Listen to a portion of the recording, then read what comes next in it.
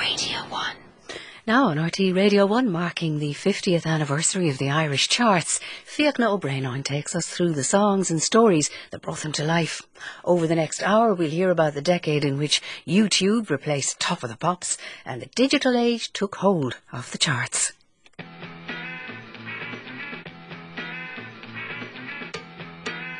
And a very good afternoon to you. Welcome to Hitting Home, 50 years of the Irish charts. Fiachna O'Brien on here, and over the next hour we'll be looking back over the highlights of the noughties, when Elvis Presley took us full circle from the very first number one in 1962 to a 21st century version of A Little Less Conversation with Junkie XL. A little less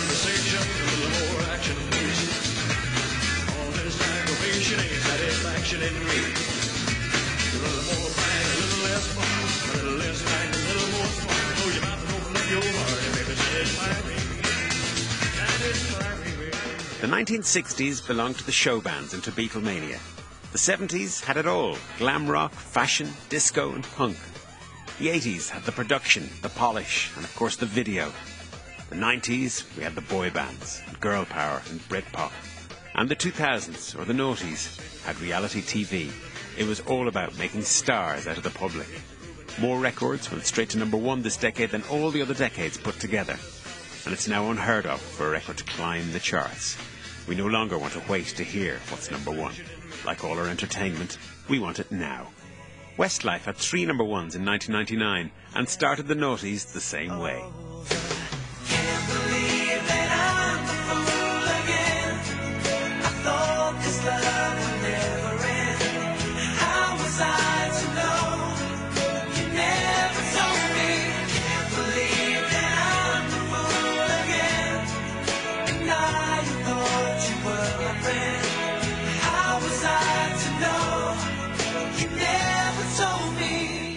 Westlife went on to equal the Beatles' record of seven successive UK number ones. The whole kind of thing with Westlife and the run of number ones that we had as a band, it was quite an odd kind of situation because we had seven in a row, and then we had a number two, and then we had another three in a row, and then it kind of started slowing down there a little bit, and we had another four after that.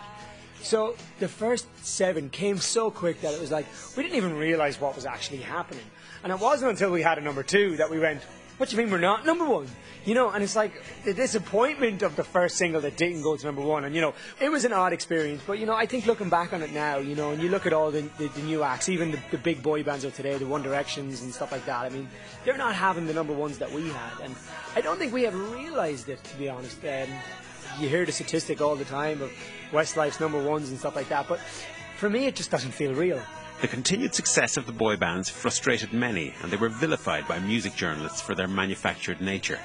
Academic and musician Gerry Smyth wrote about this in his book Noisy Island, where he likened the boy band phenomenon and the reaction to it to the show bands. There had been a lot of animosity towards the show bands in the late 60s and, and subsequently once a kind of genuine Irish rock idiom began to emerge all sorts of people, including people like Brush Shiels and Phil Lynott and Bob Geldof and, and even Bono, they all came down pretty hard on the show bands for what they regarded as their their kind of obvious failings. The fact that they were, you know, populist, the fact that they didn't write their own material, they didn't express their own response to the world in a in a in a kind of musical idiom. So the show bands kind of really went underground in, in some respects until you know the 1990s and, and, somebody comes along and says well what actually is wrong with trying to be popular putting a well produced well managed product together and then marketing it and pushing it as, as hard as possible and hoping that it will appeal to as wide an audience as possible? And you know shock horror and somebody discovered that actually this worked. You know boyzone uh, with enough uh, enough neck and, and just about enough talent could actually get away with, with this. And once one act had broached it, you know, others would follow. There was a whole raft of Irish pop acts. So they're a cause for celebration, really, rather than a cause for commiseration. And one man who was celebrating was Louis Walsh.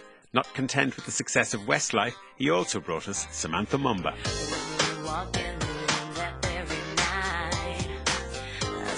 Night,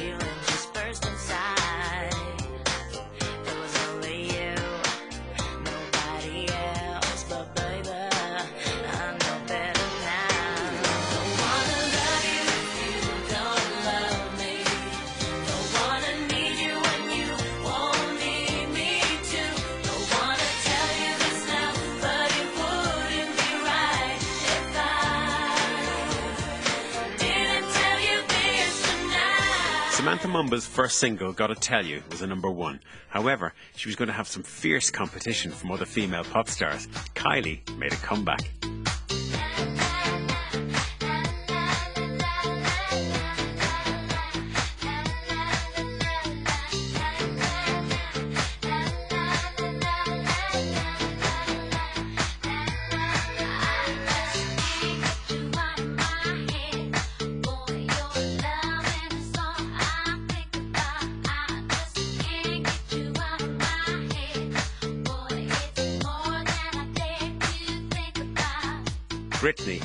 Christina were still going strong.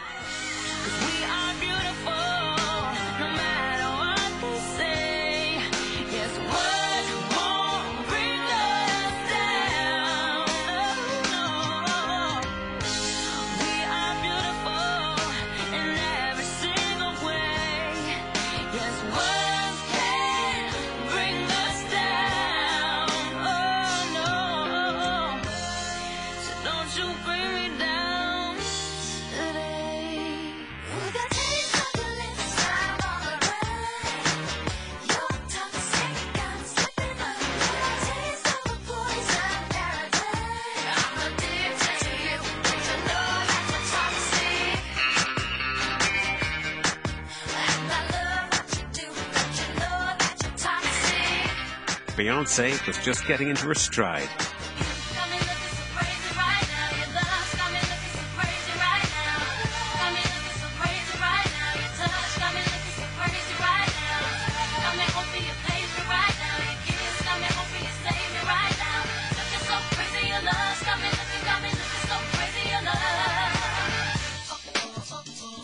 And Pink was just getting started.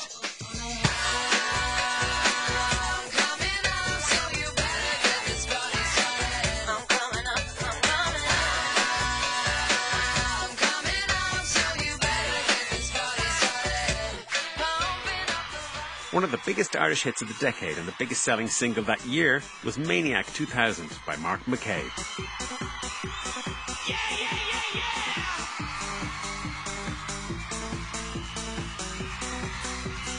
Why does it work?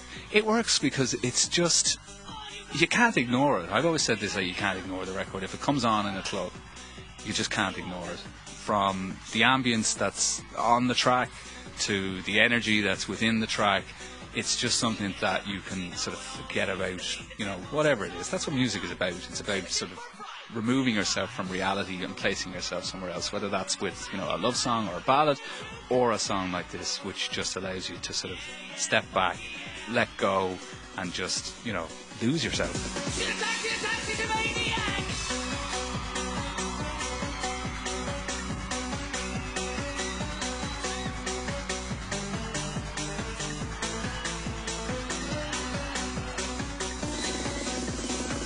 And people were losing themselves to Maniac 2000 for 10 weeks at number one.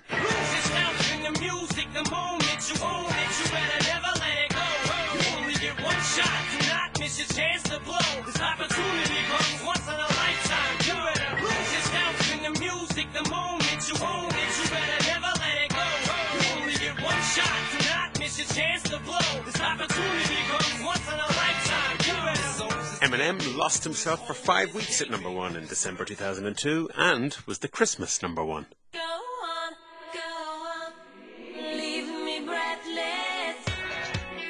Come on.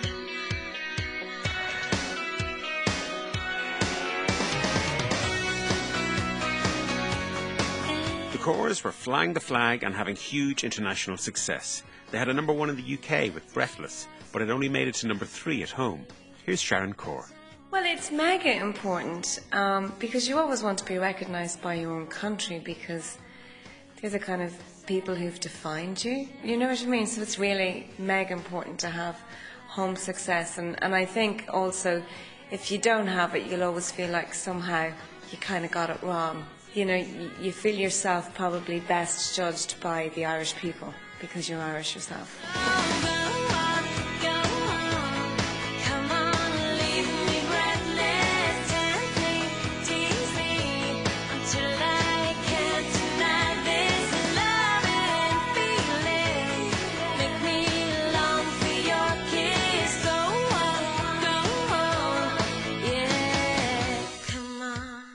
Wasn't long before we saw the first reality pop show, the UK's Pop Idol, which gave us Will Young, a pop star who went on to have great chart success and a number one here with Leave Right Now. So I say, think I better leave right now before I fall any deeper.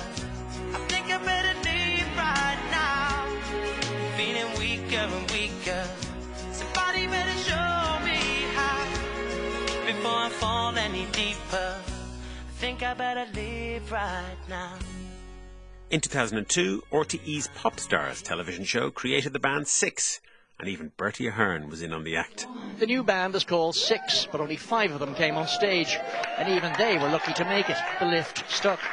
The girl chosen as number six among the finalists was disqualified when it was discovered she was under the prescribed 18 years of age. At the time, we were very, very upset, but um, we are after getting a new member now, and that person just deserves to be there, and we're really, really happy. But at the time, we were upset that Nadine had to leave. Among those offering congratulations to the new band was the Taoiseach, Mr. Ahern. This has got the largest viewing audience between the age of 15 to 24 on RT1 at the moment, and it's an audience that we really need to serve. We've got some great songs. I think the first record is going to be the biggest Irish record this year. Can't miss, huge, mighty. And Louis Walsh was right. They went straight to number one and had the biggest selling single that year with There's a Whole Lot of Lovin'.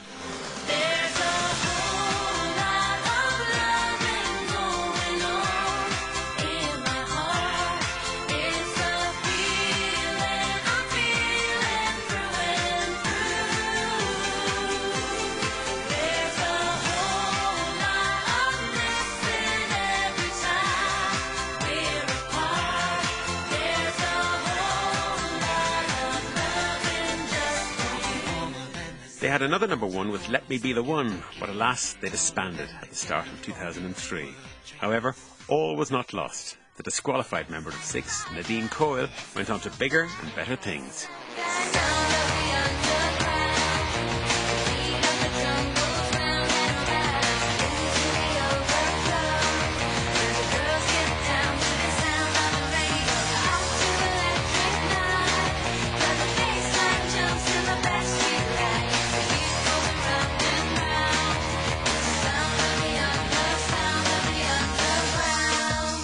Nadine went on to be a member of the winning group in the UK's pop stars The Rivals. Girls Aloud had a number one with the sound of the underground and had 14 top 10 singles. Reality shows were not the only route to the charts, and in 2002 the Walls had a hit on their hands after having their music placed in a television ad. Here's Steve Wall. when you have control over your music and all that, the whole thing of advertising came up. Was was it cool to um, license your music to an ad?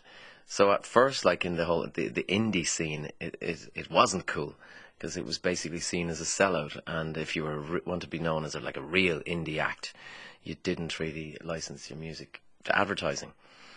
But then that all changed when um, indie bands realised that uh, they had to uh, record their own albums, and you had to pay for everything yourself.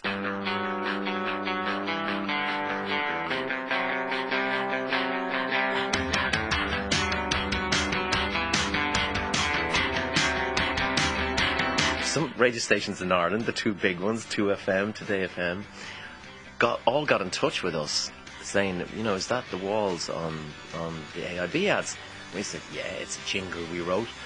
And um, one of the, the heads of music said, um, that's a hit. Stick a verse and chorus in it and get it into us as soon as possible.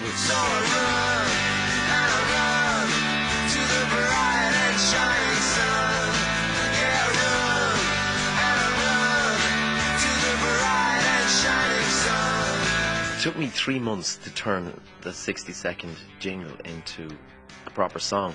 And then um, the single was released and it was played off the air. That it was kind of like the big song that summer. And I know a lot of it had to do with the fact that it was on these ads. And uh, it went top 10 in Ireland and it was, I think it sold over, and that was 2002 or 2003. It actually sold around five, 6,000 copies, which was insane. Steve Wall there, the merits of commerce and art. And indeed, if it weren't for a TV ad, we may never have heard this.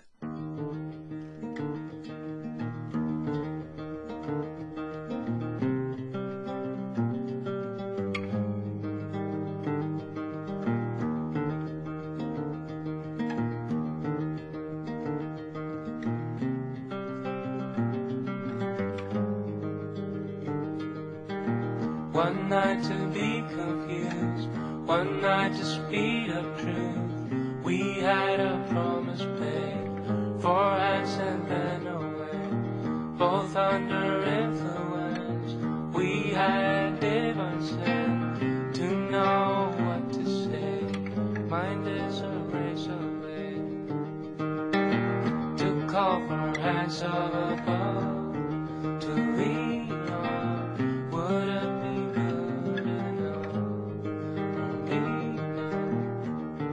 Swedish artist Jose Gonzalez with Heartbeats. Mark Crossingham, head of Universal Ireland, has seen the direct influence music and TV ads can have on the charts. The biggest example here of, of a um, music and a TV ad um, driving a chart position and an artist's success is probably, in my time, is probably Florence and the Machine. Uh, when we had Cosmic Love in the uh, in the O2 ad for when the O2 uh, venue opened here or reopened, um, and uh, that really broke Florence and the Machine here.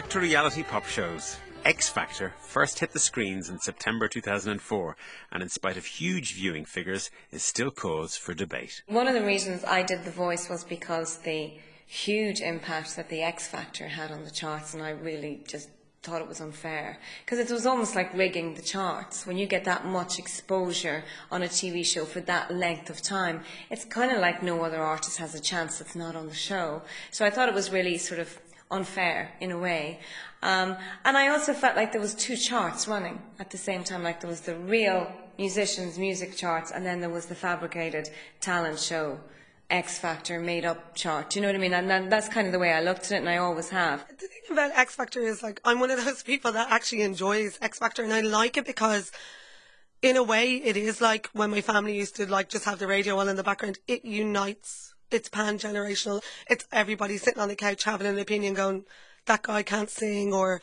"Oh my God, why did Tulisa pick that person and that dress?" The TV shows when they first started, I thought they were amazing because it was giving people the opportunity to get seen that you know didn't have the knowledge of how to get a manager and how to get in the door of a record label. But now I kind of feel like it seems to be the only way in. It's like unless you have that platform, you know, especially for pop acts, unless that platform is there, it's just impossible to get through the door. So they have changed the music industry a huge amount. Some for the better, some for the worse. I, I'm kind of split down the middle on it the music industry is changing so much all the time, anyways. And I do think it'll come full circle. I, th- I don't think they're going to last forever. You know, I mean, they're they're great when you're doing them. You know, I mean, I'm part of the Voice of Ireland. You know, Louis part of the X Factor in the UK. I've done some stuff with him on that. You know, and it's an amazing thing to be a part of. But you know, when you sit back and look in on the music industry, it definitely has changed it. Sharon Corr, music writer Jennifer Gannon, and Kian Egan there. Whatever your view, every Christmas since 2006 we've had an X Factor number one. Though Jennifer Gannon was quick to point out that X Factor doesn't always lead to success for the artists appearing or the winners. People just expect because of how high ratings are that it will just automatically be successful, and even established artists think.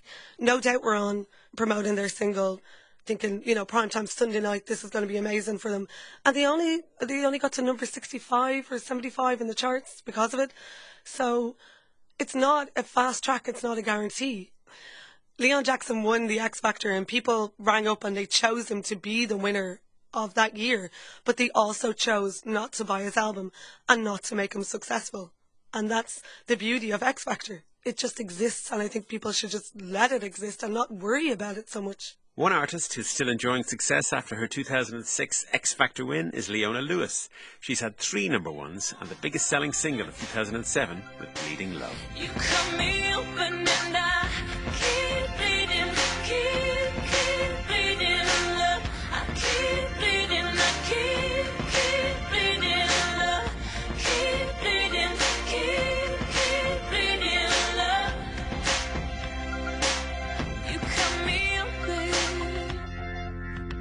And the following year she had a number one with the Snow Patrol song Run. The same year, Snow Patrol themselves had one of their biggest hits with Take Back the City.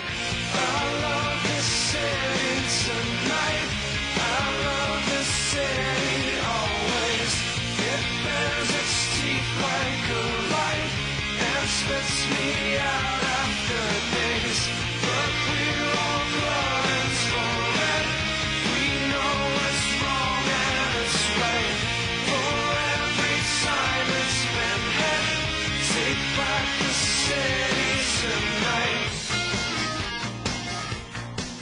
far removed from reality shows, out of nowhere, as if to remind us that great music can always find a way through. There's still a little bit of your ghost, your witness. There's still a little bit of your face. I haven't kissed. You step a little closer each day. That I can't say what's going on.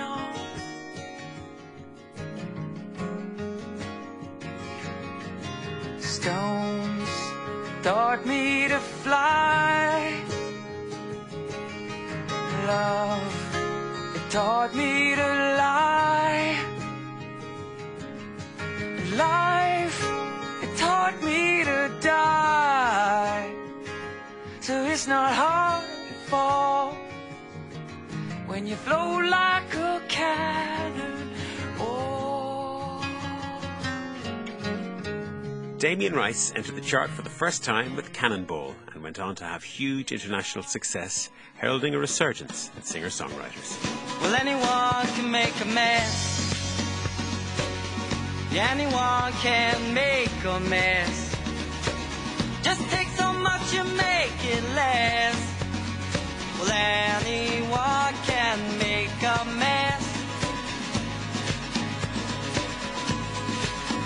When you got time and streets making saints and sinners, link on sheets making losers and winners.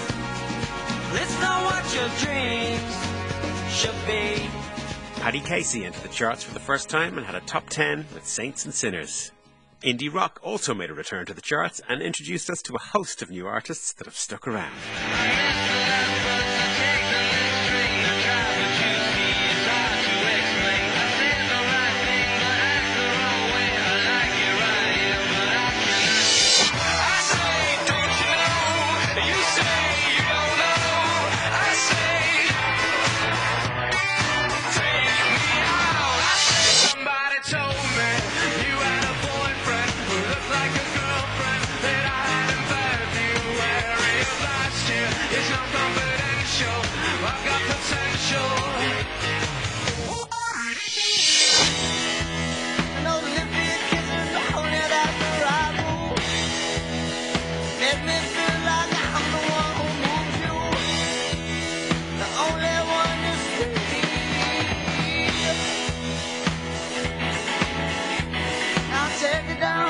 Strokes, Franz Ferdinand, The Killers, and Kings of Leon.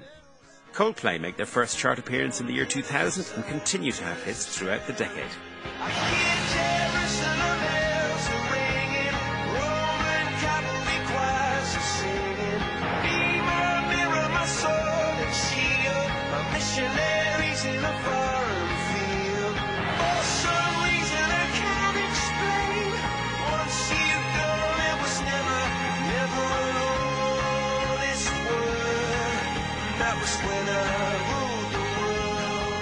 Even though the digital age means that most artists enter the charts at their peak position, it didn't stop some of them from holding on to the top. The following records all held on to the number one spot for more than two months each. Let your soul gravitate to the love, y'all, y'all. Killing people dying, children hurt and you hear them crying. And you practice what you preach and what you turn the other cheek. Father, Father, Father,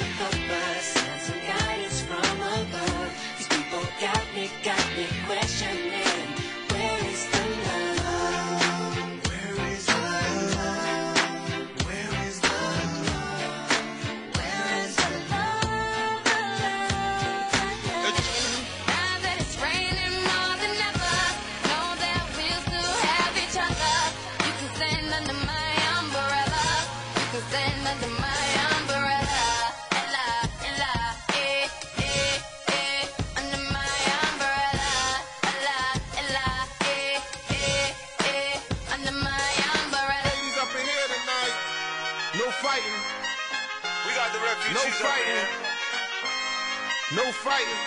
Shakira, Shakira. I Never really knew that she could dance like this. She make a man wanna speak Spanish. Como se llama?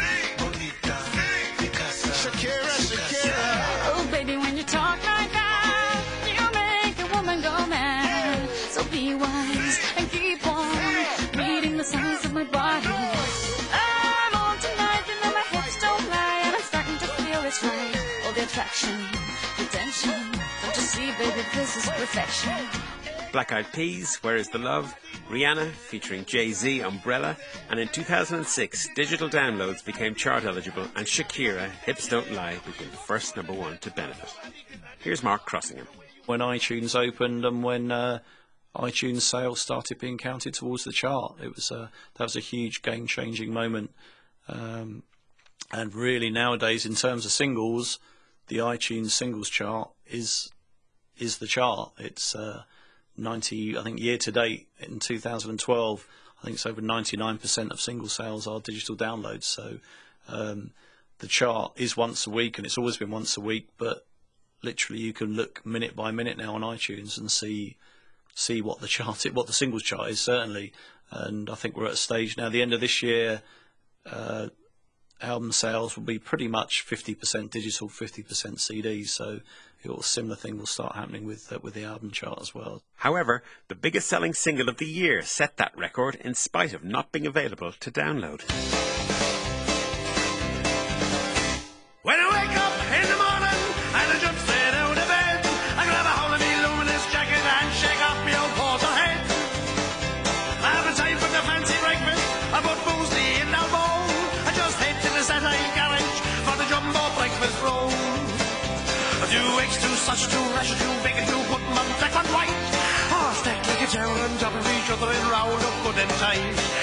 If some the milk sugar in the bowl?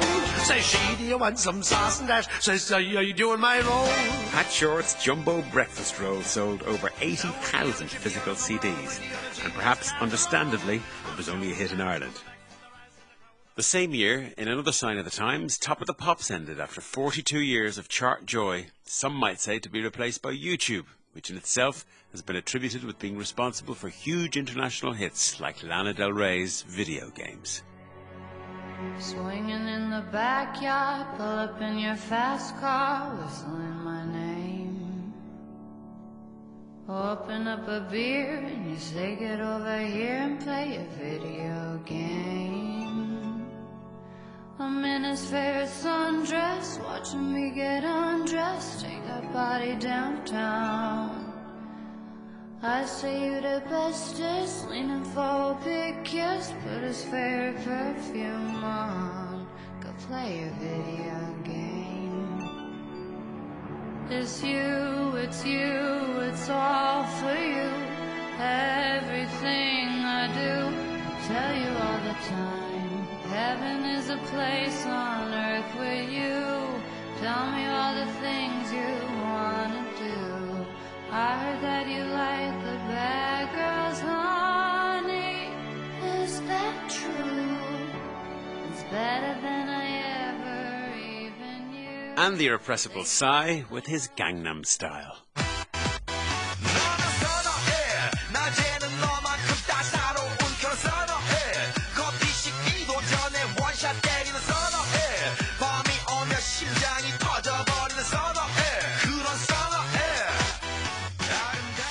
And of course, our very own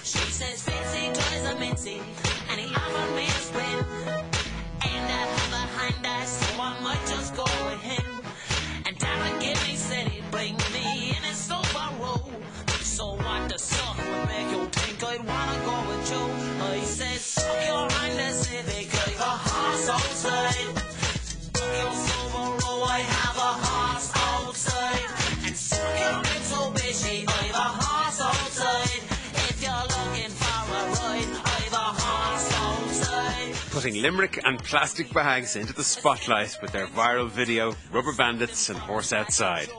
Yet, good old fashioned TV, married with digital possibilities, also managed to influence the charts. Here's award winning blogger Niall Byrne, aka Nialler9. the fact that you had iTunes becoming um, maybe the main place to download music mean, meant that older songs could also come back into the charts. You had songs like Journey, Don't Stop Believing, which because of The Sopranos ended up back in the top of the charts. You know, and it's those things like that. I think what's re- what's what is good about the charts now is that you know it's up to it's not up to the record company about oh well this is the single if somebody decides if the people decide that they want the song to be at number one it'll be at number one and similarly for for the christmas number one where you have people like uh, starting campaigns to knock the x factor um, song off the top um, it's all a bit of fun really. But you know i think that's you wouldn't ha- you wouldn't be able to have that although in the last 10 years before that you know? You wouldn't be able to have the opportunity for people to start campaigns where they can kind of mess with the charts in a way which i think is really great. And that makes it kind of relevant as well. Just a small town girl living in a lonely world. She took the midnight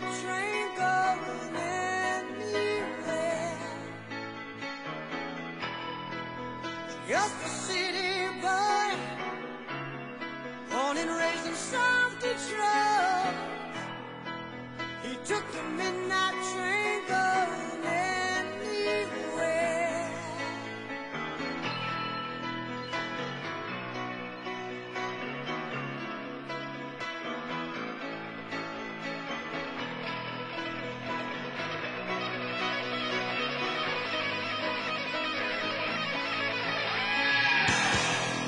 A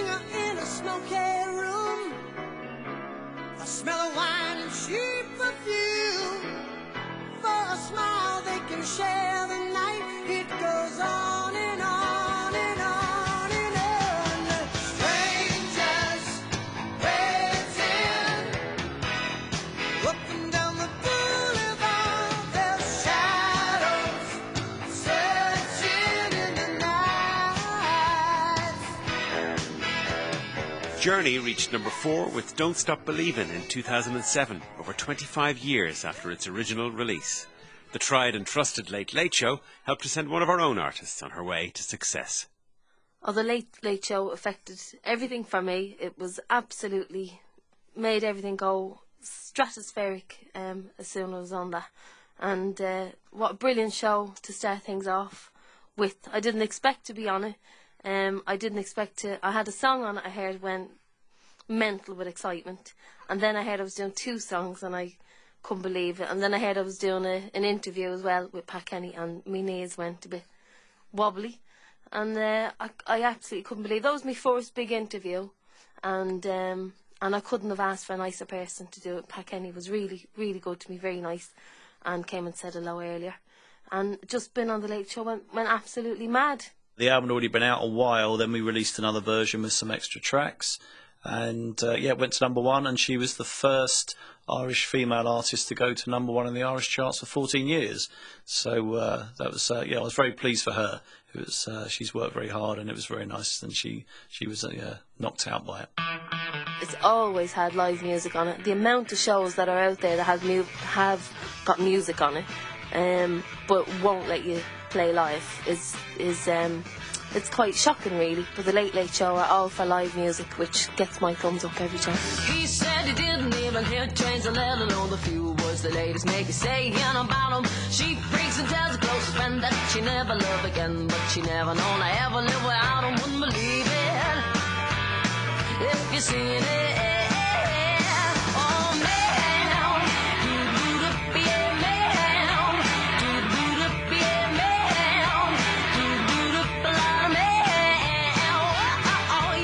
Imelda May with the hit single Mayhem, the title track from her most recent album. And Imelda wasn't the only female voice to blow us away and hit the charts this decade. Well,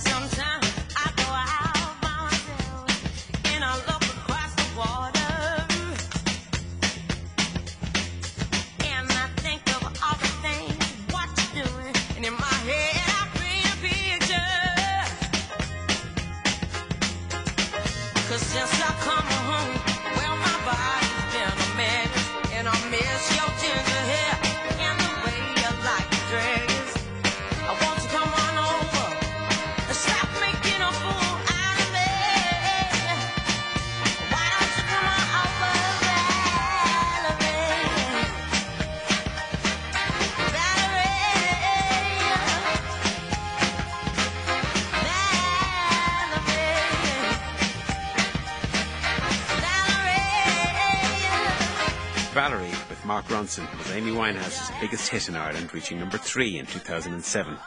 And of course, she was back in the charts in 2011 with Back to Black, following her tragic and untimely death.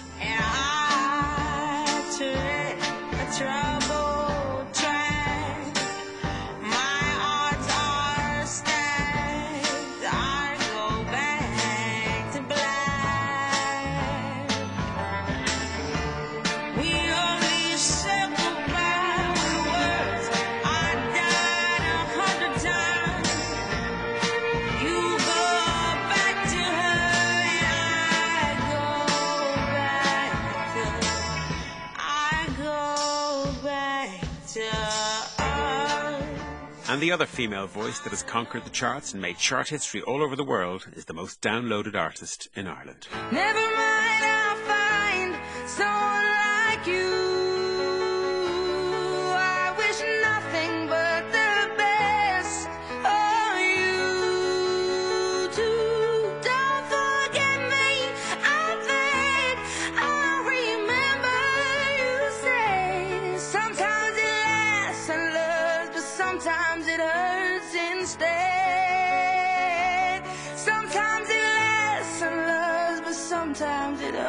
hurts instead. Adele and the number one, Someone Like You, and her most recent number one, following in the footsteps of Shirley Bassey, Tina Turner, and Carly Simon, the latest Bond theme, Skyfall.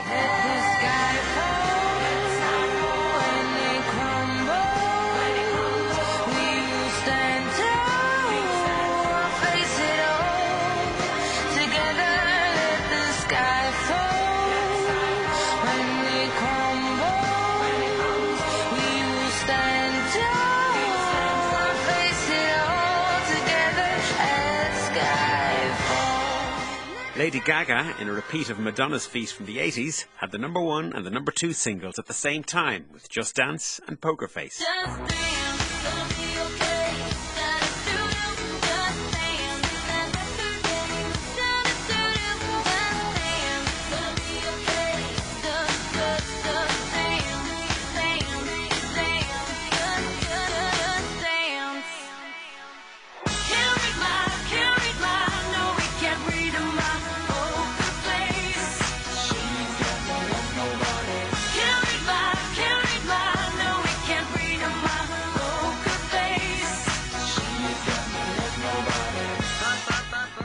And while we're on the subject of girls, I took a stroll down the old long walk of the day. I, I, I met a little girl and we stopped to talk on a fine soft day. I, and I asked you, friend, what's a fella to do?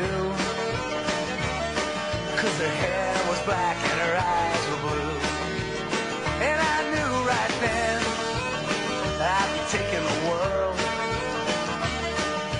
Salt Hill Prom with a Galway girl. Sharon Shannon and Mundy have a number one with Galway Girl, now the biggest selling record of 2008.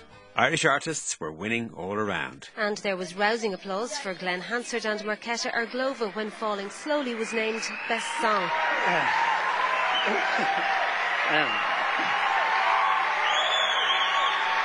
Thanks. Uh, Matagut. Um, this is amazing. Uh, what are we doing here? This is mad. Uh, uh, we, we made this film uh, two years ago. Uh, we shot it on two handy cams. Uh, it took us three weeks to make. We made it for 100 grand. We never thought we'd ever come into a room like this and be in front of you people.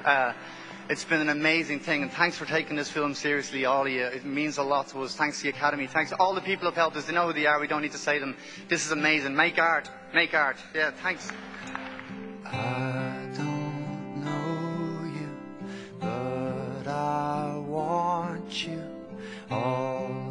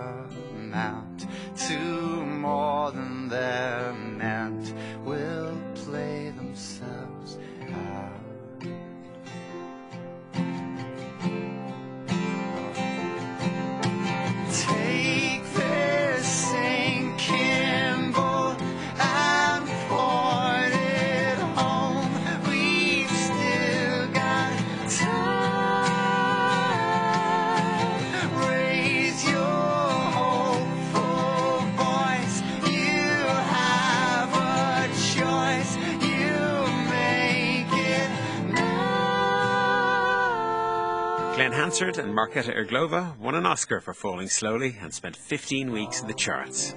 Get on your boots, go straight in at number one, giving U2 their 20th number one in Ireland and more number ones than any other artist worldwide.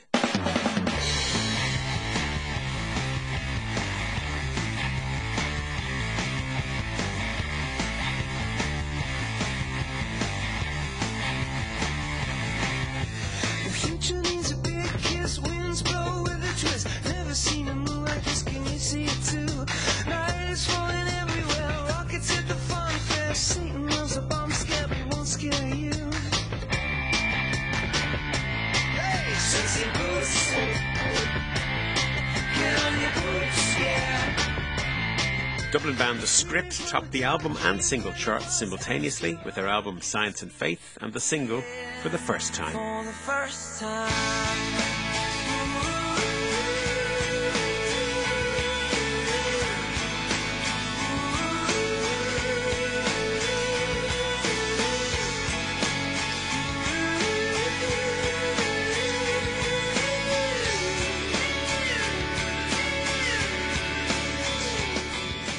Now imagine we haven't even mentioned Eurovision. We've no wins this decade, but we had related number ones nonetheless. And guess where the artists came from? Yes, reality shows. Mickey Harte won RTE's You're a Star and went on to represent Ireland in the Eurovision with We've Got the World. He didn't win, but he did spend five weeks at number one. And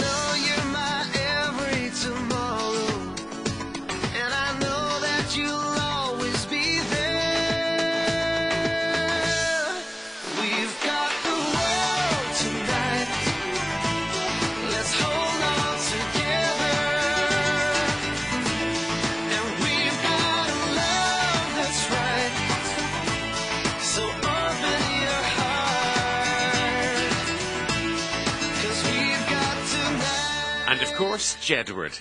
They didn't win the Eurovision. They only came sixth in X Factor, but their first single, Under Pressure, featuring Vanilla Ice, went to number one, as did their Eurovision entry, Lipstick.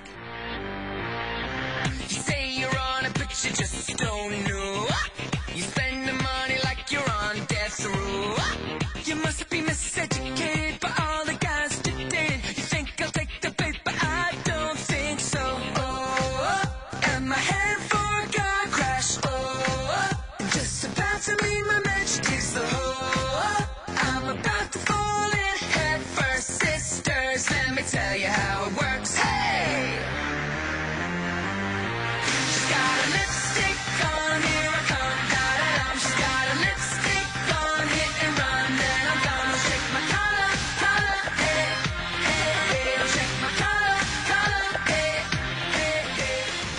Not winning X Factor, it seems, can be a recipe for success.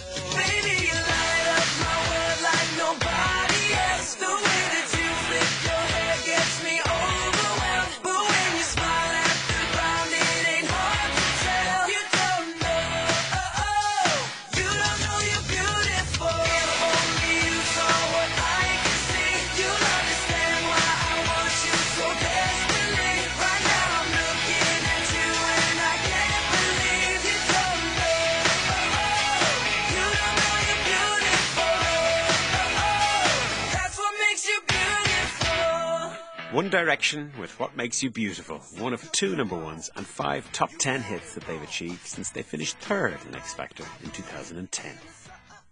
And as if two worlds collide, in 2011, Damien Rice's Cannonball entered the charts again, this time topping the UK and the Irish charts for X Factor winners, Little Mix. Stones taught me to fly.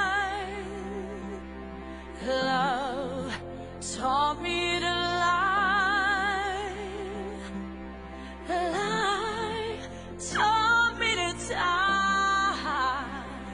So it's not hard to fall when you fall like a can in a ball. In spite of all the success of Irish artists, the last decade has seen the demise of the independent record store. Stephen Fitzgerald of Golden Discs explains why. Well, I suppose everything that's just happened um, over the last 10 years, where there's so many ways for people to consume music now. Um, it used to be that you went to your store and you browsed and you purchased a CD. Um, obviously, with the internet Um, a lot of people choose to go online and have that CD mailed to them, or download tracks, download MP3s. Um, for some people, ownership of the track isn't even an issue. So um, through a, a subscription service, you can just stream music. You don't even need to own it. So yeah, there's so many ways to consume music now. It's um, certainly created a lot of challenges for uh, traditional physical retailers. So where do all the changes leave the charts? What does the loss of the tangible format mean? What will the charts mean in another decade, if anything? Let's hear from the academic. record sales and charts and lists generally um, are, are, an important phenomenon of the modern period, really. If we can count, we will count, and we want to know why uh, one thing is ranked slightly higher than something else. Uh, they do it now in relation to everything, you know, government departments, universities, radio programs. Everything is ranked, and the, I suppose the charts is, is just um, a variation on, on that phenomenon. The veteran DJ who has long compiled his own chart. Funny thing about the charts today is they don't matter at all. Having said that, sales matter. 2003 is the lowest year for single sales ever. Well, since the 1950s, say, since the whole thing started. Since the whole thing started in Britain, that it hadn't started here. And 2003 just got really low. And everybody thought it's all going to go and it's all gone. And that the singles charts now with everything from Rihanna to One Direction and all that isn't really doing anything. Now, you can't compare like with like, but having said that, let's just try and do one comparison, which is this. If you were to pay the same price as you would have paid for a single in the 1960s now, it would cost you about six pounds fifty, which is up to nearly ten euro. Actually, it costs less than one euro. Okay, taking away the cost, the actual amount of stuff bought, because the ease with which it is, is you can buy it. You don't have to put your coat on and get the bus into town and go into a record shop. You simply go and you buy it. And people still want to own music. The award-winning music blogger. I would say that the charts now means many different things. It now means that there's not just one single chart, and that's the thing. I think if you are the kind of person who's looking for new music, you might go to a new music chart. Um, if you're very much mainstream, you'll look at an iTunes chart or the regular chart. Um, and I don't, there's so many of those now, and that's where I kind of, as a as a music blogger, for example, pick up on a lot of music because there are all these charts that exist for different websites and you know different mediums. So really, it's a case of finding the one that you are kind of interested in, and I think that's the the the way that's kind of fragmented means that the the chart has somewhat lost its relevancy. The retailer. I think they've probably lost some of their significance. I think probably um, back over the years they would have held a lot of kudos for the artist or for the band. Uh, they would have been hugely significant for them for touring, um, for sales. Um, I think today probably less so. Again, coming back to the to the point that people consume music in so many different ways. Um, probably the charts should move to be more reflective of that now, and perhaps rate what people are listening to rather than just what people are actually buying. The artist. I, in a way, don't pay as much attention to the charts as I did. I think they're just almost too diverse. I think that there are too many different charts. There are too many misrepresentations of the chart that people keep um, interpreting one small chart as a number one when it's actually not. You, do you know what I mean? So you're number one on the what chart, but you're not number one on the main chart. And I really liked how simple it was, and maybe I'm just a little bit of a dinosaur, but I liked how you sold a certain amount of records and that reached a certain spot in the charts. And now it's like so much less. It's kind of frightening how little it takes to get to number one. So I don't really see it as a huge achievement for a lot of people to get to number one nowadays. And the chart-topping turkey. But overall, it's just that prestige. When you hear whether it's Larry Gogan or Tony Fenton announce that you're number one, I mean, I was. It's just something that the feathers in the back of your neck stand up, and you go, you know what? You say to yourself, they put any old rubbish at number one, the Irish people. Well, whatever about the feathers on the back of your neck, one thing they all agree on is that things are changing and changing fast. Who knows what the future holds for the charts? Perhaps a look at the final chart of 2012 might have the answer. It peaked at number one, but finished at number two. Some of Ireland's best known artists came together to re record the Elton John classic Tiny Dancer in aid of a little girl called Lily May. Whether it was the great song, the cause, or both, it galvanised people to buy it. And you can't help but feel that getting to number one was hugely important. Blue jean baby,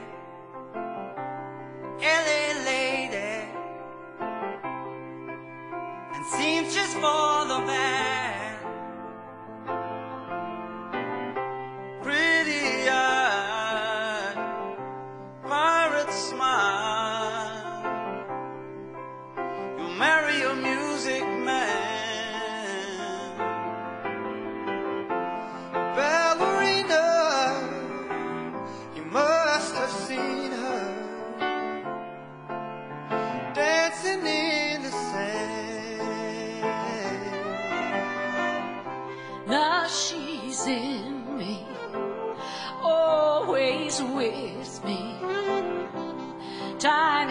Dancer in my hand. And at number one, well, things aren't changing that fast. I'm going to leave you with this. It's the X Factor 2012 winner, James Arthur, with Impossible. For myself, Fiachna O'Brien, I've thoroughly enjoyed looking back over 50 years of the Irish charts. Until the next time, Tug Bugay, Slán go forward. I remember years ago someone told me I should take caution when it comes to love. I did. And you were strong and I was not my illusion, my mistake. I was careless, I forgot I did. And now, when all is done, there is nothing to say. You have gone and so effortlessly. You have won, you can go ahead, tell them, tell them all I know now. Shout it from the rooftops, write it on the skyline. All we had is gone now. Tell them I was happy and my heart is broken. All my scars are open. Tell them what I hoped would be impossible. Impossible. Impossible. Impossible. Falling out of love is high. Falling for betrayal is worse. Broken trust and broken hearts. I know, I know. And thinking all you need is that. Building faith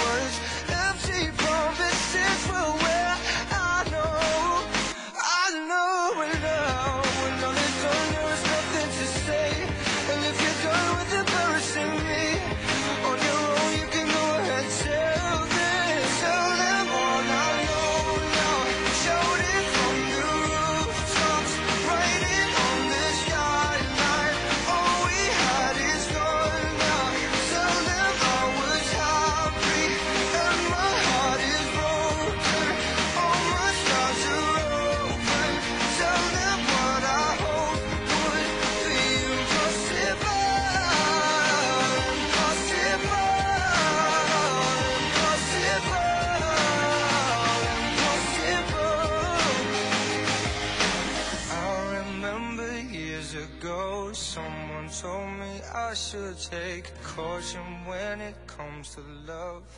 I did. Hitting Home, presented by Fiachna O'Brien was produced by Sheena Ryan for Raven Productions, with sound supervision by Richie McCulloch. Special thanks to Mick Lynch, John Pinder at Chart Track, and Dick Doyle at IRMA. The programme was made with support from the Broadcasting Authority of Ireland.